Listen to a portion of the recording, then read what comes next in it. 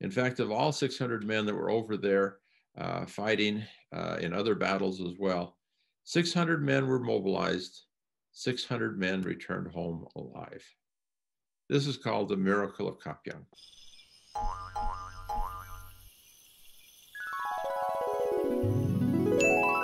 Hello, everyone. This is Mark Peterson with the uh, Frog Outside the Well Research Center.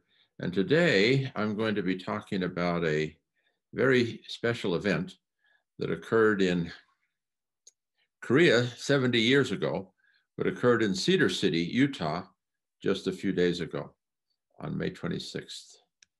Uh, the uh, event, the miracle of Gapyeong, was celebrated in Gapyeong at the American Memorial there.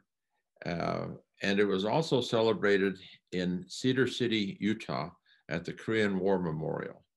At the Cedar City meeting, the uh, mayor spoke, and there was a uh, one star general, number two man in the Utah National Guard, came to Cedar City and spoke.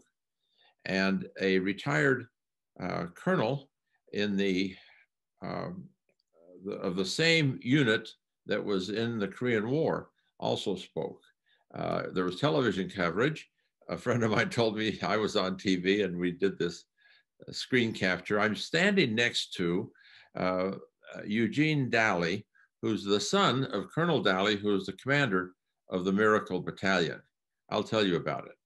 There were uh, five companies, or they call them batteries, in the uh, 213th Armored Field Artillery Battalion that was mobilized to go to Korea to fight in the Korean War. You see these five cities, Fillmore, Richfield, Beaver, Cedar City, and St. George. Uh, at the time, the population was quite small. Fillmore was only 1,800 people. Richfield was 4,000 people. Beaver was 1,600. Cedar City was 6,000. And St. George was 4,500 people. And yet each of these uh, communities uh, provided 120 men, altogether 600 men to go fight in the uh, Korean War. Uh, these cities were small cities, 1950, uh, very much like this uh, photograph here. The battalion looked a lot like this. There's a picture in front of the old battalion headquarters. And there are about 90 men in this picture. So you figure each of these small towns provided 120 men. That's 30 more than you see in this photograph, uh, times five. And they sent them to Korea. And here is Gapyeong off to the side in, in to the northeast of Seoul. Uh, it's about 60 miles outside of Seoul, almost to Chuncheon. Uh, and the uh, Gapyeong has saw a lot of action. It was uh, an important avenue into Seoul. And uh, here we can see where the Utah Monument is in red, but there's also a Canadian Australian monument. There was a monument to a student battalion that fought there. There's a monument to uh, the, the battles of the region of Gapyeong. And just a little bit to the south, there's the Yongmun area Battles Museum or Battles Monument uh, commemorating a battle that took place just south of Gapyeong. To understand the importance of Gapyeong, uh, you need to understand that it was one of four avenues into Seoul. And here you can see the, the light line showing that's the valley bottom between the mountain ridges. Uh, and number four was the Fourth Avenue off to the east. Uh, one, two, and three lead straight into Seoul. But number four, you have to come down, then take a turn to the left to get into Seoul. But it's one is considered one of the four natural avenues through the mountain passes to get down into Seoul. So Gapyeong was an important uh, defensive uh, line uh, to protect Seoul. So here these uh, soldiers from Utah sent over to set up a camp and in the middle of the camp, there are refugees coming and going and all of the chaos of war. Uh, and they brought in their big guns their big howitzers and their artillery that they would fire into the into the night, into the day. Uh, they fired, the battalion fired 250,000 shells, a quarter of a million shells during the time of the Korean War. From the time they got there uh, in the fall of 50 until uh, they left in uh, 53 at the end of the war. Here's a picture of uh, the lieutenant colonel, the commander of the battalion, standing by one of his big guns. I'll tell you more about him. Uh, and let me tell you about the battle. One of the results of the battle was this captured Chinese prisoners. The uh, Chinese invaded a surprise attack uh, at night uh, with 4,000 men, a brigade of uh, Chinese uh, army. And uh, as they attacked, the infantry in front of the artillery was eliminated. Many were killed and many withdrew, leaving the artillery on the front line. Now, usually the artillery is in the back, shooting over the infantry to keep soldiers back away from the infantry, but the infantry disappeared. And here the, the soldiers came right on to the uh, artillery face to face. The artillery, uh, two batteries were uh, in location, two out of the five batteries, uh, 240 men facing 4,000 men in the middle of the night.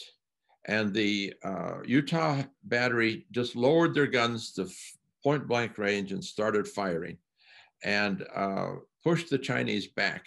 One captain took 18 men and a motorized vehicle with a howitzer on it and a couple of machine guns and chased after the Chinese and captured uh, 830 of them. Here's a picture of the Chinese marching down through the through the valley. So the the battle, uh, as the Chinese got closer, the the artillery uh, uh, fired point blank at the at the uh, invading Chinese, but they also needed to get out their rifles, and they found in the in, in the aftermath that some of the Chinese got as close as 10 meters away, and there was a machine gun nest set up 40 meters away, and yet none of the American uh, the Utah National Guard fell. Uh, this is largely attributed, attributed to the um, leadership of Lieutenant Colonel Frank Dalley.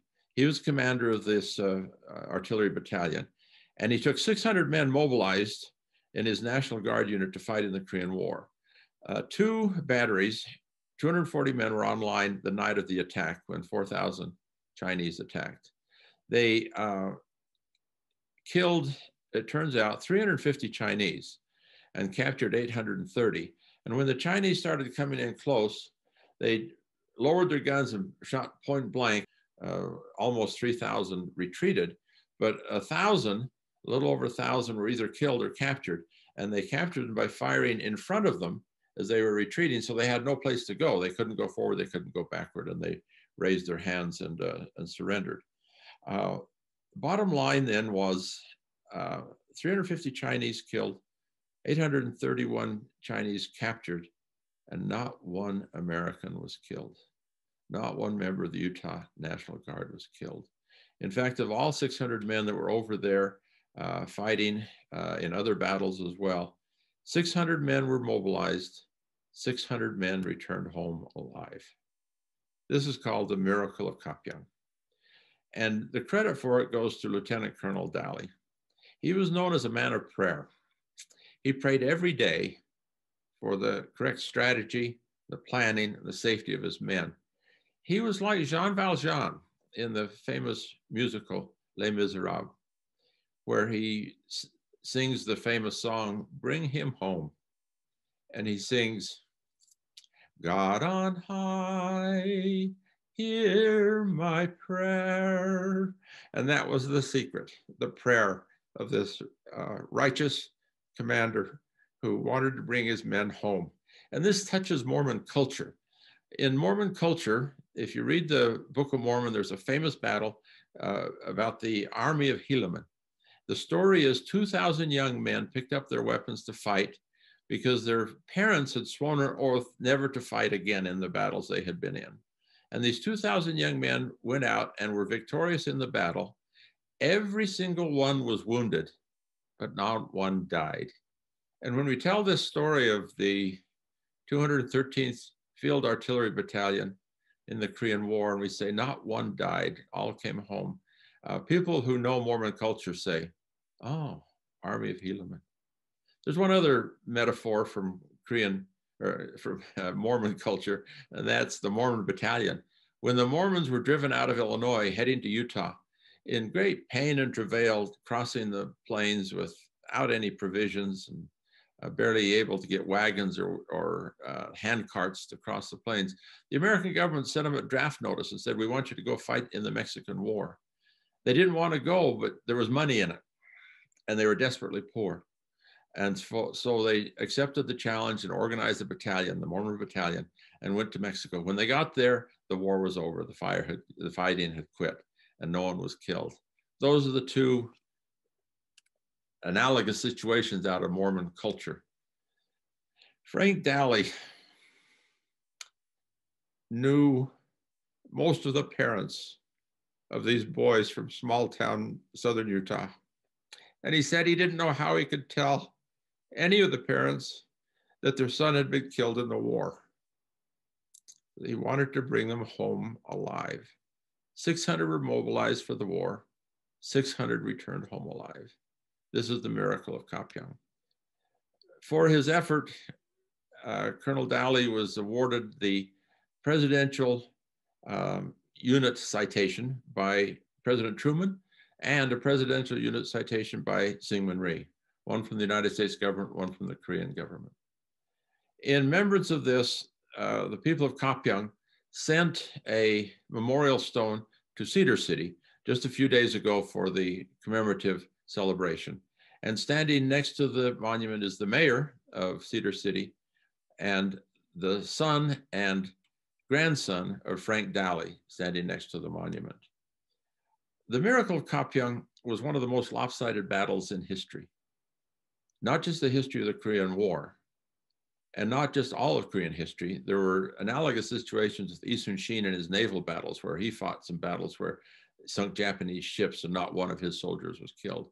And Eulji Mundeok fought against the um, uh, Chinese invaders and uh, had a great victory, a very lopsided victory, where like 300,000 uh, Chinese were killed. Uh, but it, it falls into that category of Korean history.